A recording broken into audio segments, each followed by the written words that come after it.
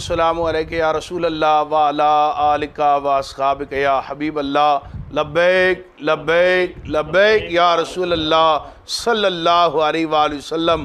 ताजदार ख़त्म नबूवत। जिंदाबाद जिंदाबाद जिंदाबाद।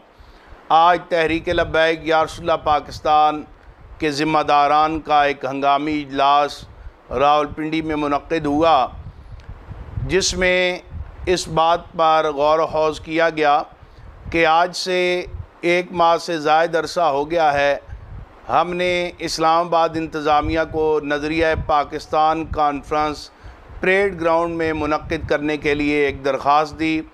तमाम कानूनी तकाज़ों को पूरा किया और बिल आखिर तीन अगस्त को एडिशनल डिप्टी कमिश्नर और ए सी अब्दुल्ला साहब ने हमारे इस्लामाबाद के ज़िम्मेदारान को दफ्तर में बुलाया। और ये कहा कि मुहर्रमुल हराम का इंतहाई मुक़दस और हसास महीना चल रहा है।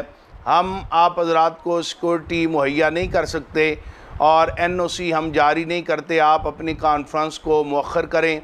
हमने पाकिस्तान के इसकाम के लिए और मुहर्रमुल हराम के एहतराम में इस कॉन्फ्रेंस को मौखर किया।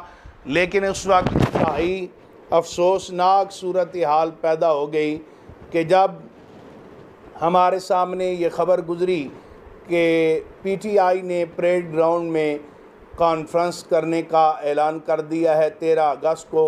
और राना सनाउल्ला साहब का ये बयान रिकॉर्ड पर मौजूद है कि पीटीआई परेड ग्राउंड में जलसा कर सकती है। तो हम ये बात पूछने में राना साहब से हक बजानब है कि क्या हम भारत से आए हैं?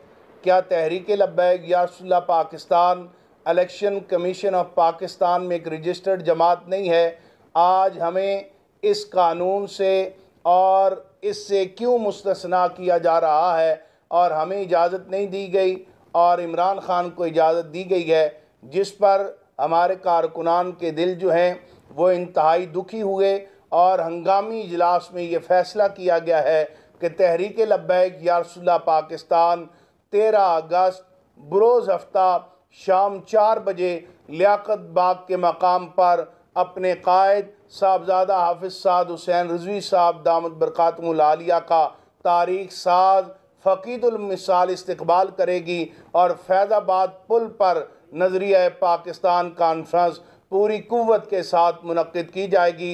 इस सिलसिला में चौदह अगस्त को रावलपिंडी इस्लामाबाद के अंदर जितनी रैलियाँ जो हैं मनद करने का ऐलान किया गया था उनको मनसूख किया जाता है। तमाम कारकुनान तेरह अगस्त की तैयारी करें और इन तेरह अगस्त को लियाकत बाग से लेकर फैज़ाबाद तक आशकान रसूल सल्लल्लाहु अलैहि वसल्लम का एक ठाठे मारता हुआ समंदर जो है, पूरी कौम को नज़र आएगा और हम एहलियान पाकिस्तान को बताएँगे कि पाकिस्तान के क़्याम का मकसद क्या था और किस लिए हमारे आबा अजदाद और बुज़ुर्गों ने कुर्बानियाँ दी थी।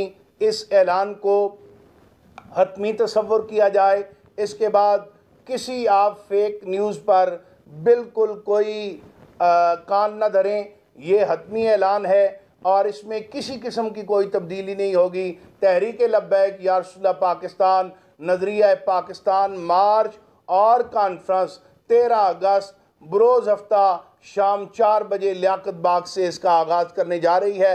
अल्लाह ताला पाकिस्तान को इस्तेकाम अता फ़रमाए, अंदरूनी और बैरूनी खलफिशार से महफूज फरमाए और जश्न आज़ादी हम शायान शान तरीके से मनाएँगे।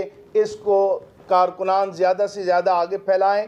और अपनी भरपूर और हंगामी तौर पर तैयारियों का आगाज़ कर दें। अल्लाह ताला हम सब का हामी नासिर हो। ताजदार ख़त्म नबूवत। जिंदाबाद जिंदाबाद जिंदाबाद। जाना फिर फैजाबाद भी जाना है। फिर उत्थे जाके ऐलान करना है।